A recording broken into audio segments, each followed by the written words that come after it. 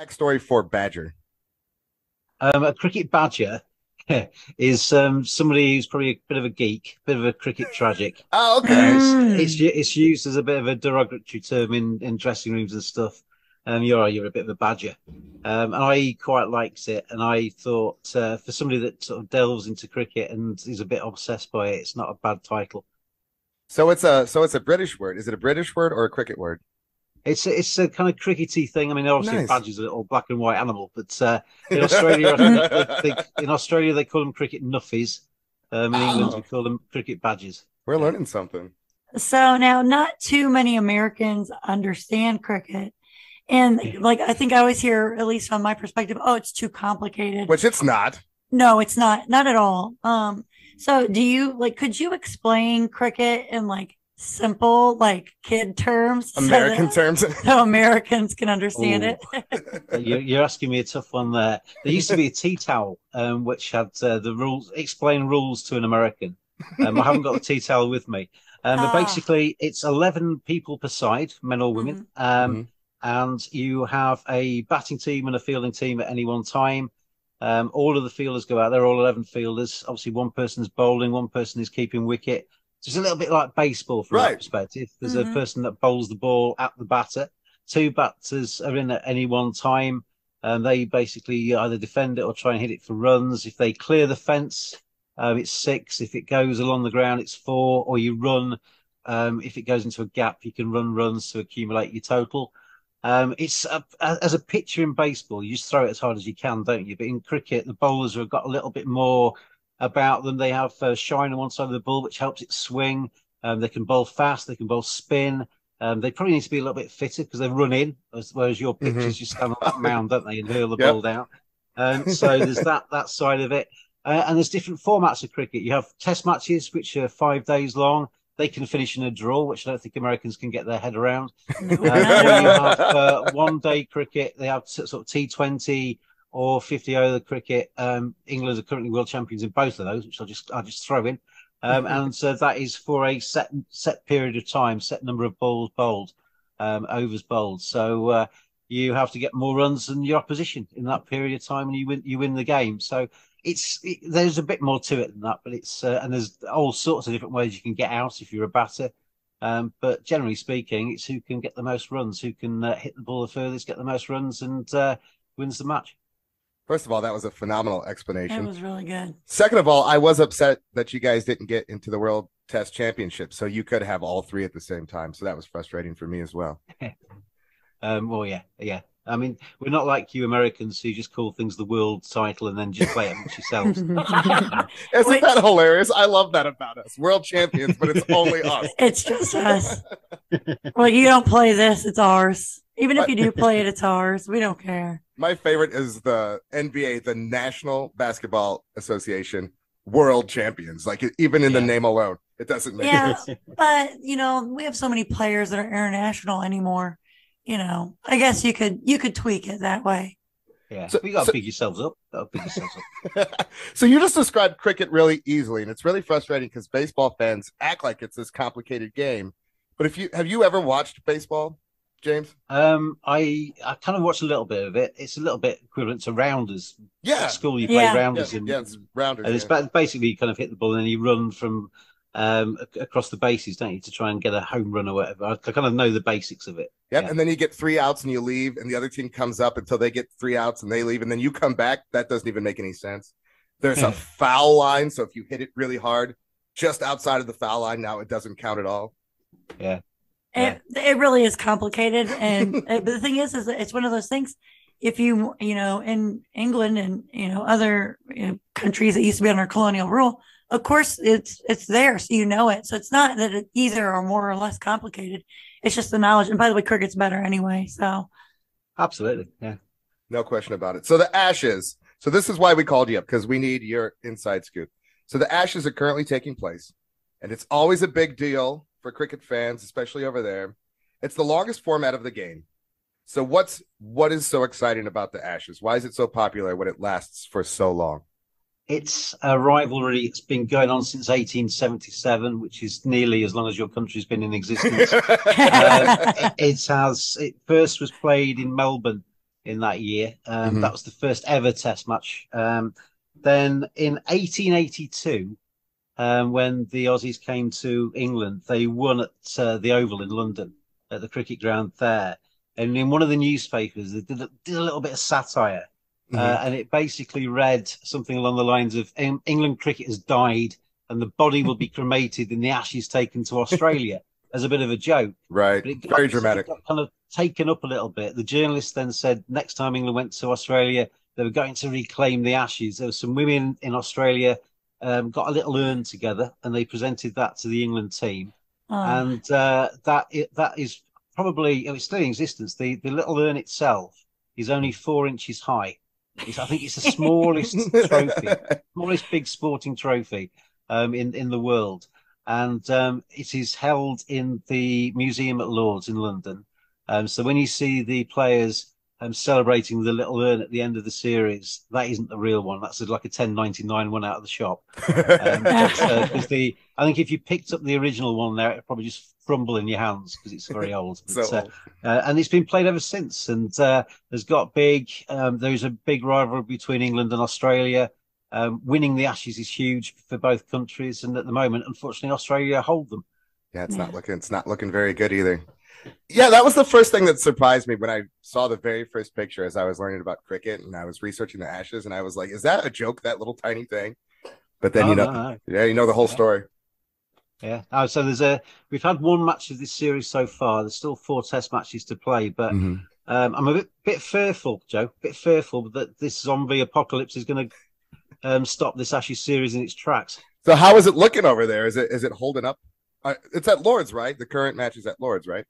Yeah, um, yeah. There's zombies all over London at the moment. How are they how are they protecting Lords? Um, they've they've tried to get a, a bit of a perimeter boundary sorted out. Obviously, it's all got cameras there, um, keeping the zombies Ah. at bay. Um, the stewards are not looking after the crowd anymore. They're just kind of marshalling the fence. But we should get the game in. Should get the game The good news is if it if it's a draw, nobody will be disappointed. in. now yeah, the question is, is can you teach a zombie to play cricket? Um, I mean, they wouldn't need pads or any protection, would they? You know, just No. get their leg blown off by the ball, wouldn't they? Because the cricket ball's very hard, you know, Gina. It's uh, um, not it's not a soft thing. If you get hit on the head or hit on the um on the body with a cricket ball, you know about it. So a zombie, even though they are undead, it would probably do them a bit of damage. So that's a really good way to protect ourselves. Get a little cricket bat and ball, get them out of there. And tell have me you seen, though. have you seen Shaun of the Dead? The film Shaun of the Dead. yeah, Oh. well, that's what I was thinking about. Is Shaun of yeah, the Dead, they they use they use a cricket bat and that to actually uh, Famous um, hit the hit the zombies over the head with the cricket bat. Yeah.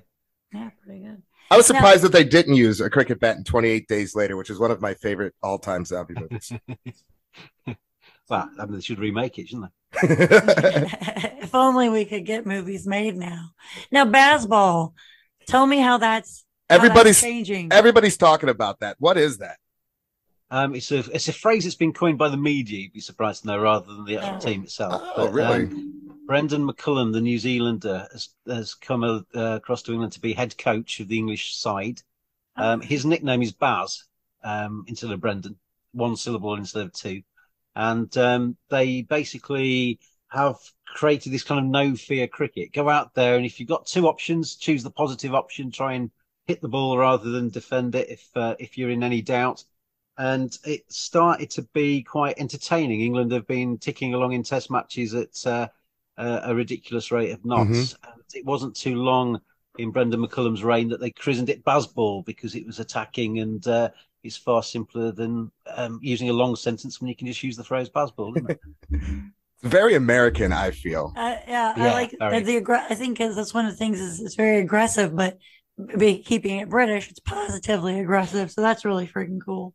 Yeah, and the the, the, the um, good thing about it is that the Australians are actually quite not a negative side, but they don't play as attacking a form of as an entertaining form of cricket as England. But there's a little bit of a debate at the moment about whether the reckless style of England is going to be able to cope with the very very good, more uh, moderate style of uh, Oh. Australia. So it's you've got that kind of yin and yang thing going on at the moment in this series, where two different styles coming up against each other. Which one's going to be the best? There they go again. So do you think it's like going to be like Bodyline Part 2? Uh, well, Bodyline was one of the big parts of uh, uh, of the Ashes. Um, back in the early 30s when um, England went down there with some fast bowlers and tried to blow the heads off the Australians. um, and it get, ended up being discussed in Parliament and all sorts. That caused a lot of controversy. Not, it's not quite got into that realm just yet. Okay, good. So if you could resurrect any, let's say, any bowler, any batsman, and any wicket keeper in the zombie apocalypse to put together your zombie team, who would you bring back to life? They're zombies, Ooh. but they play like they're prime. But they're still gentlemen. They're gentlemen zombies. Um, I think we'd have to get Don Bradman out the grave. Ah, yes. Um, Absolutely. because he is probably the, the most famous of uh, the players of yesteryear, Australian, um, and averaged 99.94 in test matches. When he came out at the Oval to play his last ever game, I think he needed to score four runs to get a career average of 100 or more. Nobody's ever got anywhere near that. hmm Um, and he was out for a duck, got out for naught on his final appearance. So his average is 99.94, but it's almost better That's for that. isn't it? awful. 99.94 is more of a story. So he was um, he was out uh, cheaply in his last one, but incredible play. It'd be great to see him playing. Um, only ever seen sort of old, old grainy footage of uh, of Don Bradman. hmm Um, I think um, if we come to an all rounder, an Ashes all rounder, Ian Botham, he's not dead, so we don't need to resurrect him. But he um, he is um, famous for his 1981 heroics. He was captain at the start of the series, had a terrible time as captain. England were 2 0 down in the five match series. He uh, was replaced by Mike Brearley as captain. Um, Ian Botham returned to the ranks and blazed centuries, took wickets, won the last three test matches almost single handedly and that goes down as Botham's ashes. So Ian Botham deserves his place um, in a Wow. uh, in a team. And then a Absolutely. wicket keeper, um, wicket keeper. We'll go with Alan Knott. He's my favourite. I Okay. saw my first games down in Kent, and he was the Kent keeper, and he was just a genius. well, nostalgia there. Absolutely. One specific famous Ashes series that you'd recommend for Americans to watch. The full series. Which one would you choose and why?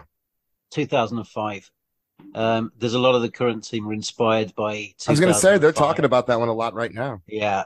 Um, it goes down as probably the certainly in the modern era the most iconic. Uh, Michael Vaughan was England captain. Um, they took on an Australian side who had been dominant. Uh, you know, they'd ba- basically been everybody. Um, they'd thrashed England millions of times, it seemed. And uh, when they turned up in England, um, Australia were hot favourites to win. But England decided that they were going to try and go toe to toe with them. They lost the first Test match at Lords, um, but then the series was just every game was dramatic. Every game had something in it. Um, they won at um, Edgbaston in Birmingham by two runs. England um, getting a wicket just before Australia got uh, across the line to win. I was at Trent Bridge as England just managed to score enough runs on the final day. The great late great Shane Warne.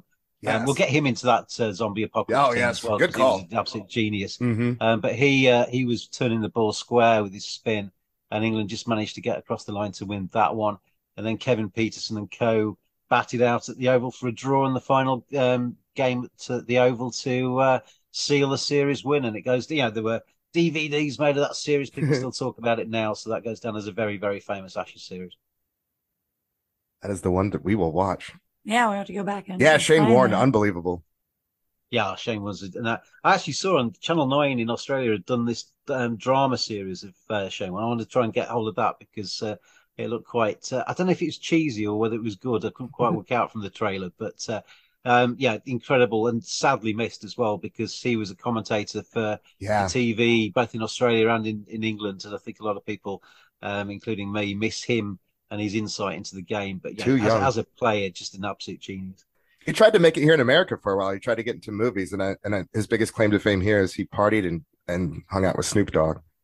Oh yeah, yeah. He liked to party. He liked to party. He he dated. He dated Liz Hurley for a while, which Mhm. is no mean feat. And um, yeah, yeah.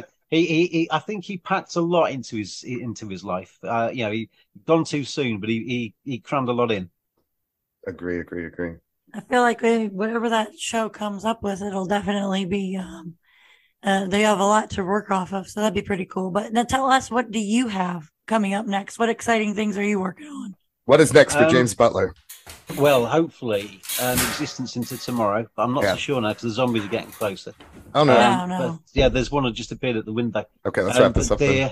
which is not good because I'm on the first floor flat. So he's a very he's a very very tall zombie. Um, Oh my but, uh, gosh! o- obviously got the rest of the English summer, the cricket. Um, I also do some work in football as well, so it's not too long before the Premier League starts again. That's in August.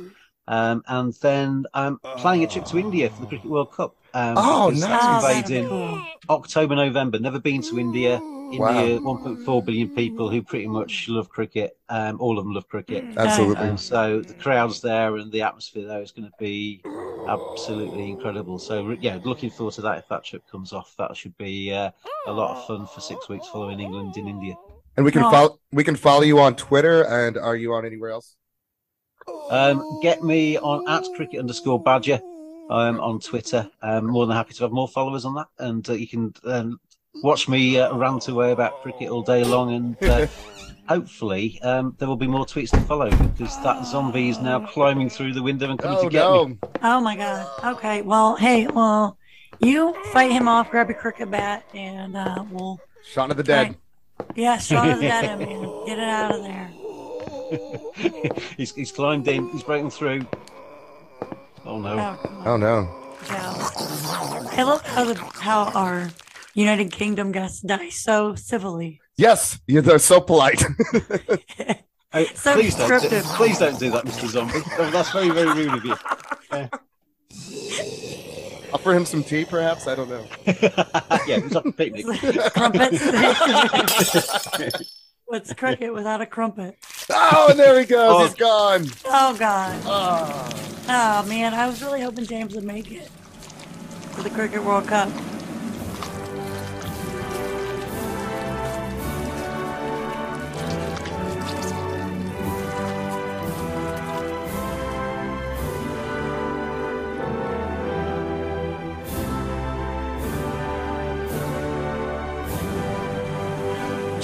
Cricket Badger, this is a song you die to.